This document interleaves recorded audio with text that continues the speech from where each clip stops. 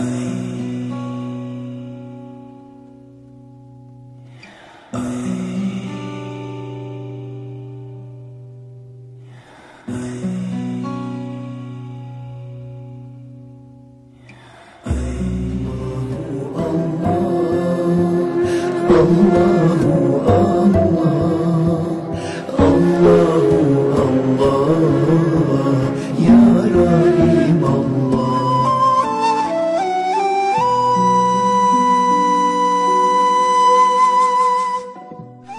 Efendiler sultanı, güzeller güzeli, Resulullah Aleyhisselam'ın çok sevdiği insanlardan birisi, kıskanılacak bir adam. Hey güzel Mus'ab, güzelliği bir tarafa attın, çok mu derdindesiniz insanlar? Güzel gezmenin, saçları tarayarak, güzel güzel dolaşmayı, en pahalı elbiseler içerisinde kurumlu kurumlu oturmayı çok mu çok mu istersiniz alın sizin olsun diyerek Resulullah'ın peşinde saçı başı dağılmış yüzü gözü toz toprak içerisinde Uhud meydanında şehit edildiği gün Resulullah aleyhisselam yüzüstü yatan bir delikanlı cenazenin başına geldi.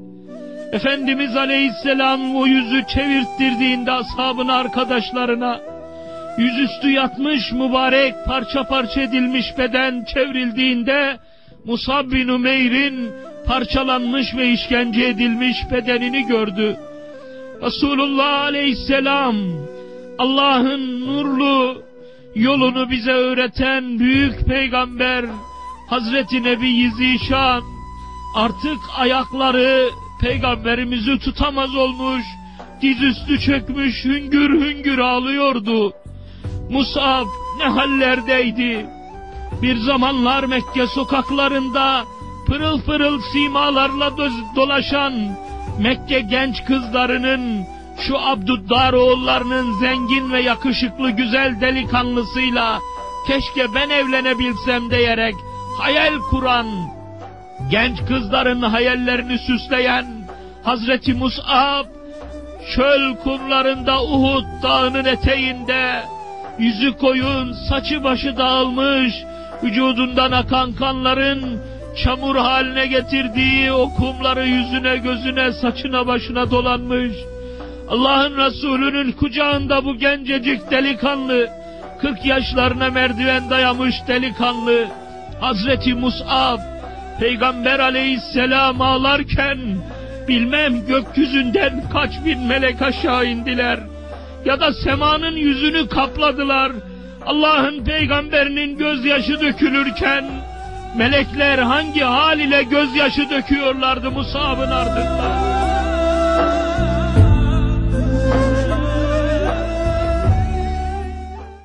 Evet, Asırlık Çınarlar'da sizinle birlikteyiz. Çok teşekkür ediyorum. Hayırlı yayınlar diliyorum.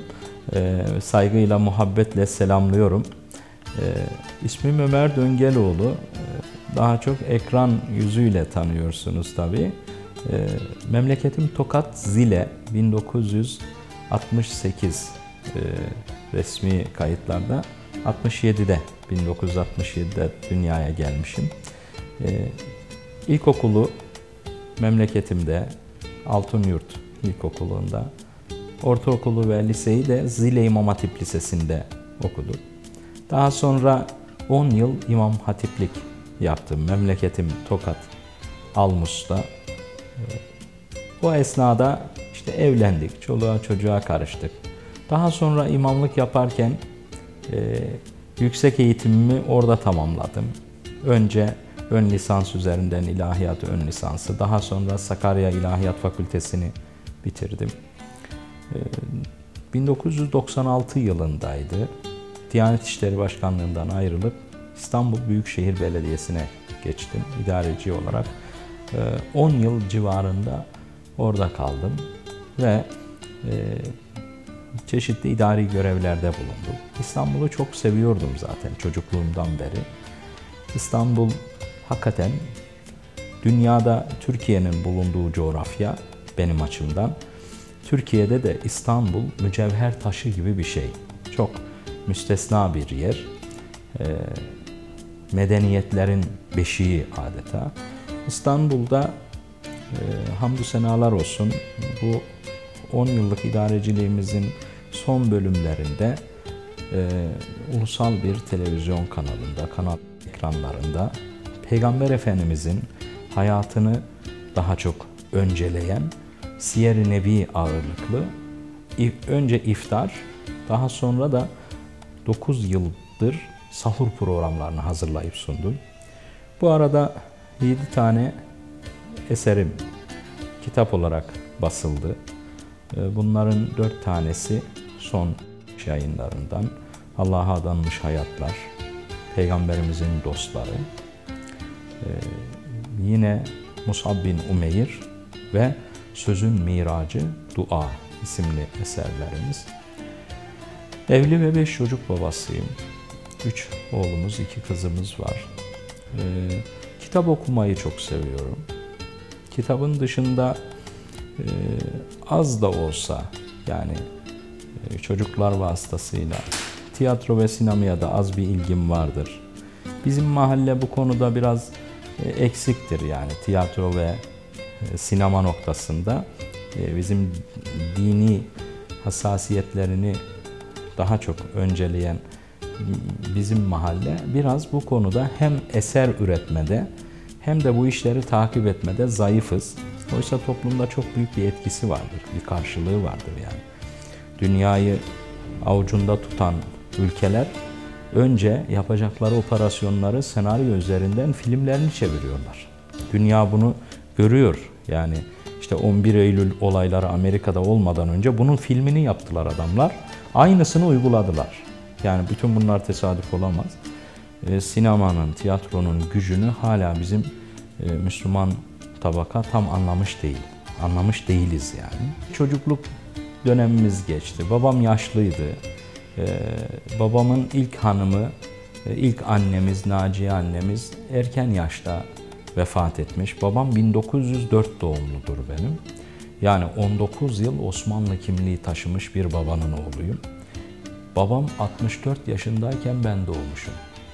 Rahmetli ilk annemiz, Naciye annemiz öldükten sonra benim annem Hayriye Hanım e, mekanı cennet olsun bütün ölmüşlerimizin e, anasız babasız kalmış. Savaş yılları tabii. Türkiye'nin Osmanlı'nın son dönemi birçok insan cepheye gitmiş gelmemiş. Annemin annesi de küçükken ölmüş. Babası da daha anam doğmadan galiba ölmüş.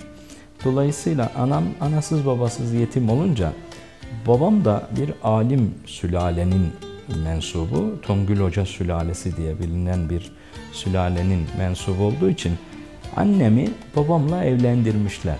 Babam annemden yaklaşık 20-25 yaş büyüktü yani evlendiklerinde yaş olarak baktığımız zaman. Annem de babam da rahmeti rahmana kavuştular. Babamın yaşlılığından dolayı ben biraz daha serbest büyüdüm. İmam Hatip Lisesi'nde okurken de e, mesela güvercin beslemeyi çok severdim. Kuş beslemeyi. E, hayvanlara, evimizde de vardı zaten e, hayvanlarımız, ev, evcil hayvanlarımız, tarlamız, bağımız vardı. Az bir şey yani öyle çok değil. Ama onlardan dolayı okulda tabii fakirliğin de verdiği bir şeyle çekingen, içine kapanık, çok öyle atak, lider ruhlu biri değildim.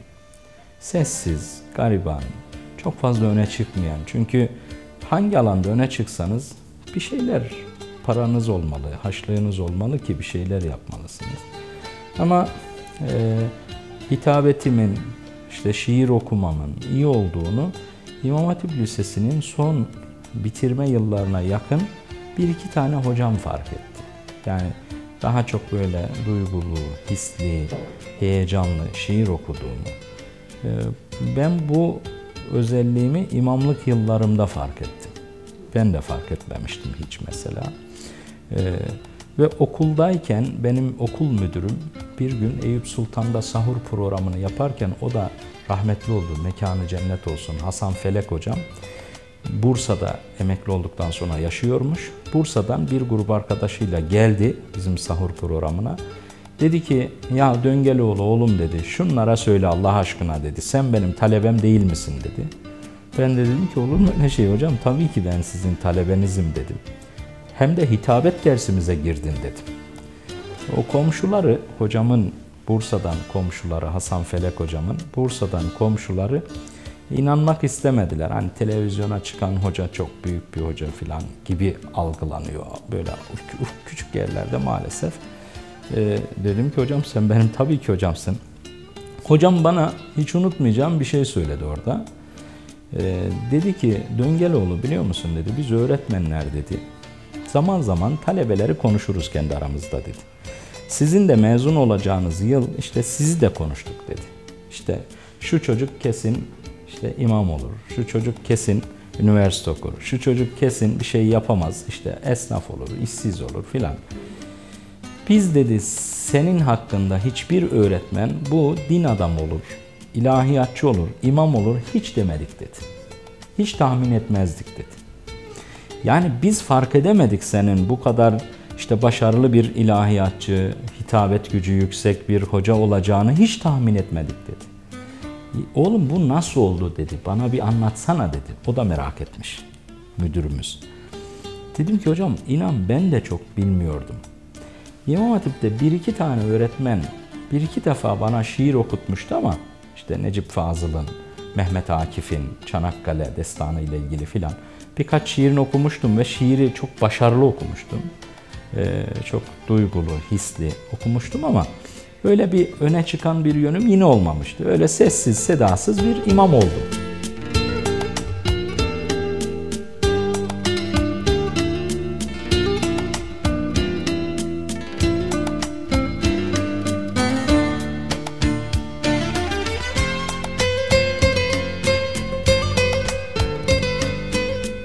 Mesela o yıllarda, İmam Hatip yıllarında biz tabi İmam Hatip'e karşı da halkın böyle bir işte köylüler çocuğunu gönderir, fakirler gönderir anlayışı vardı.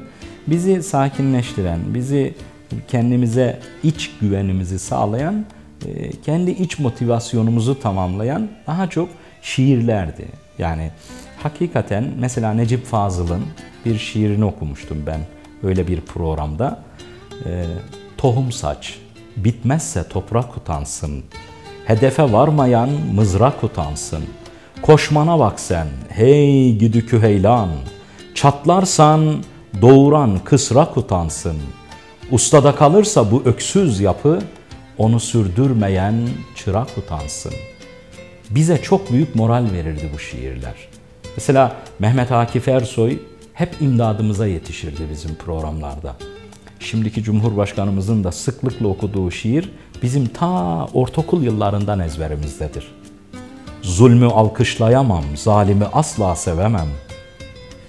Gelenin keyfi için geçmişime kalkıp sövemem. Üç buçuk soysuzun ardında zağırlık yapamam. Hele hak namına haksızlığa ölsem tapamam. Adam aldırma geç git diyemem aldırırım.'' Çiğnenirim, çiğnerim, çiğnenirim, hakkı tutar kaldırırım. Kanayan bir yara gördüm mü yanar ta ciğerim. Onu dindirmek için çifte yerim, tekme yerim. Bu bizim ezilmişliğimizi ifade ediyordu. Bizim dışlanmışlığımızı, bizim küçük görülmemizi her yönüyle tedavi ediyordu yani. Dolayısıyla bizim hem çocukluk hem ilk gençlik yıllarımızda şiirlerimiz vardı kendi içimizde birbirimize okuduğumuz. Halka bazen yıllık programlarda okuduğumuz. Ee, Antalya'da İmam Hatip kursiyerinde e, Allah uzun ömürler versin halen Antalya'da yaşıyor. E, Doktor Mustafa Özcan isminde bir fıkıh hocamız vardı.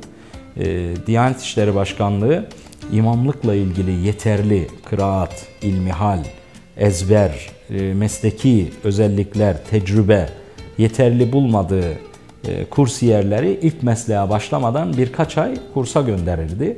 Ben de öyle iki ay Antalya'ya 1986 Kasım'ında iki ay kursa gitmiştim. Orada benim imamlığı sevmem, e, böyle bir ilahiyat camiasını benimseyip bir şuur yüklenmem doğrusu orada oldu.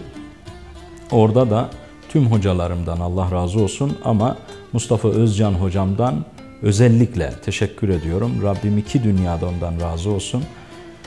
Belki kendi özel bir gayret sarf etmedi bize ya da başka birine ama o kadar işini seven, o kadar bu dini sevdirmek, fıkhi kaideleri, ilmihal bilgilerini sevdirmek için öyle özel gayretler gösterdi ki ben minnettarım. Ee, ben çok şeyi ondan fark ettim ve öğrendim. Ondan sonra imamlıkta işte e, bir kasabadasınız, Almus'un orman dibi kasabasında 10 yıl.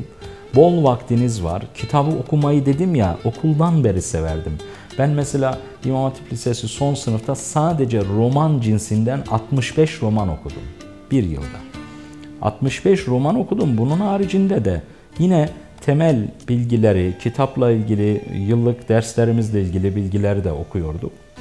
Ee, o kitap okumamın verdiği, konuşmayı da seven bir meşrebimin olması, hitabetimin o kontrolsüz, denetimsiz, serbest ortamda, köylü büyük bir saygısı var imama. O ortamda kendimi fark etmeden geliştirmiş oldum. Yani ben de onu sonradan fark ettim. Ee, ve elhamdülillah belli bir zaman sonra insanların ilgisi arttıkça sizin sorumluluğunuz da artıyor.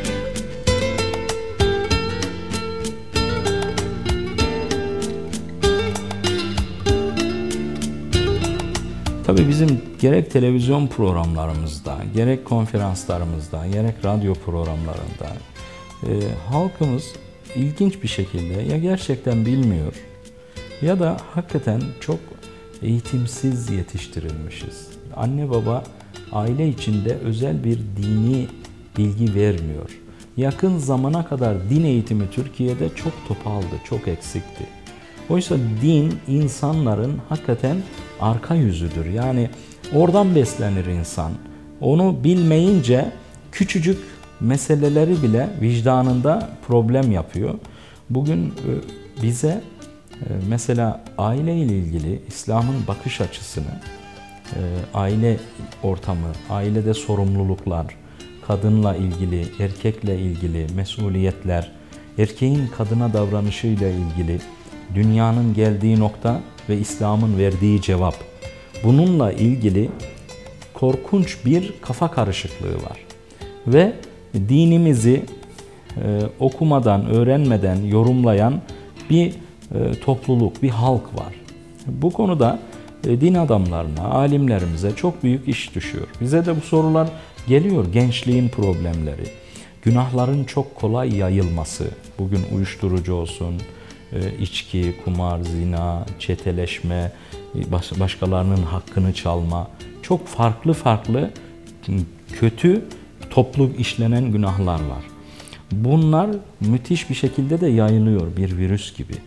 Artık internetin akıl almaz insana her şeyi yakınlaştırdığı bir dünyada e, bununla mücadele ederken ahlaki değerleri, dininizle ilgili insanı frenleyici değerleri anlatırken mutlaka din adamı e, dini sevdirici, kolaylaştırıcı, nefret ettirmeyici bir üslup kullanmalı.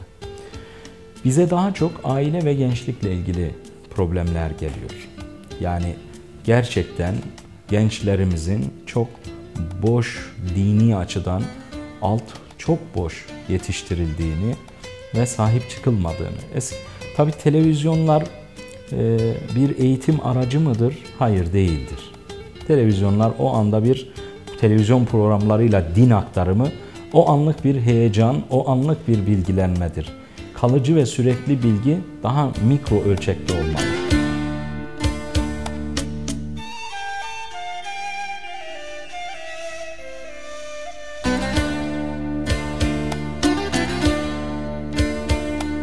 Eskiden ilde, her şehirde o şehrin tanıdığı, hürmet ettiği, hayatını bildiği alimler vardı. Mehmet Zahit Kotkular gibi, Mahmud Sami Efendiler gibi. İşte Yozgat'ta bir İhramcızade, Yozgat'ta bir Ahmet Efendi, Sivas'ta bir İhramcızade Efendi, İsmail Hakkı Efendi, Darende'de bir Hulusi Efendi gibi böyle insanın bakıp ahlakını gördüğü, nasihatiyle de hakikaten hissedar olduğu, nasiptar olduğu insanlar vardı. Bunlar gittikçe azaldılar. E, biz din adamını çok kolay tükettik toplumda. Bu salih kimseler de geri çekilip sessizce göçünce dünyadan yerine daha güçlüsünü koyamadık. Buradan dolayı televizyondan alınan bir saatlik, iki saatlik bilgilenme yeterli kalmıyor. Bugün ülkemizde eğer şiddet olayları, hele hele kadına şiddet, çocuklara kötü davranışlar yaygınlaşmışsa bunun altında din eğitimi eksikliği kesinlikle birinci sebeptir. Dinini Avrupa gücünü yeni fark etti. Bakın Avrupa 4 yaşında çocuklarına din eğitimi veriyor. Hem de hiç sana sormuyor yani. Kilise eğitimini veriyor. Bizde daha düne kadar din dersine çocuk başörtüsüyle girmesini tartıştık ve bunu laiklik açısından tartıştık. Ne kadar saçma sapan bir sebeple bu ülkenin yılları boşa gitti. Siz inanmadığınız ve emirlerini ciddiye almadığınız bir dini hayatınızda nasıl inandırıcı bulursunuz? Dolayısıyla bizim dinimizi mutlaka milli değerlerimizi, ruh köklerimizi, bu toplumun dip dalgalarını öne çıkaran daha mikro eğitimlere, daha küçük, mahalli, köy, kasaba ama dengeli, olayı ticari, siyasi bir kanala sevk etmeyen, tamamen doğal, Allah için dini tebliğ eden o eski Anadolu erenleri tarzında, o eski halkı aydınlatan alimler tarzında bir eğitimi kendi dönemimizde gerçekleştirmeliyiz. Yoksa 50 yıl sonranın Türkiye'sini oturup bir tahammül edin, bir tahayyül edin, bir düşünün. İnanın düşünmek istemeyeceksiniz. Korkunç bir sel geliyor arkadan. Toplum hala farkında değil. Bu kötülükleri Allah binlerce yıldır peygamberlerle düzeltmek istemiş. Allah fabrika yaptırarak da düzeltmek isteyebilirdi. Allah bu işleri baraj yaptırarak da düzeltmek isterdi. Hayır. Toplumlardaki bütün kötü gidişatı bir din göndererek ve bir peygamber göndererek düzeltmek istemiş. İnsanı en iyi tanıyan Allah olduğuna göre biz Allah'ın bu sünnetine tekrar dönmeliyiz ve peygamberimizi yeniden keşfetmeliyiz. Dinin insanı terbiye eden, ahlakın ve güzel milli manevi değerlerin gençliği rehabilite edecek, onu filtreden geçirecek bir süzgeç olduğunu görmeliyiz ve bu yönde gayretlerimizi arttırmalıyız. Ben Asırlık Çınarlar'da sizlere çok teşekkür ediyorum. Hayırlı yayınlar diliyorum. Allah razı olsun.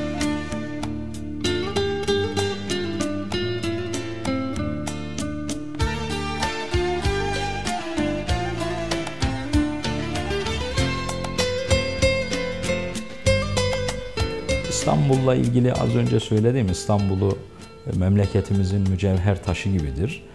İstanbul'u çok seviyoruz. Onunla ilgili merhum Necip Fazıl Üstadımız ne güzel söylemiş.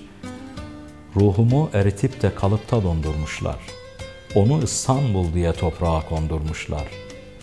İstanbul suyu allı pulludur. Ay ve güneş ezelden iki İstanbulludur. İstanbul canım benim, vatanım da vatanım. İstanbul, İstanbul.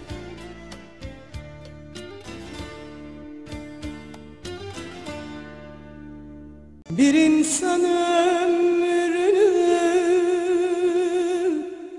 neye vermeli? Tükenip gidiyor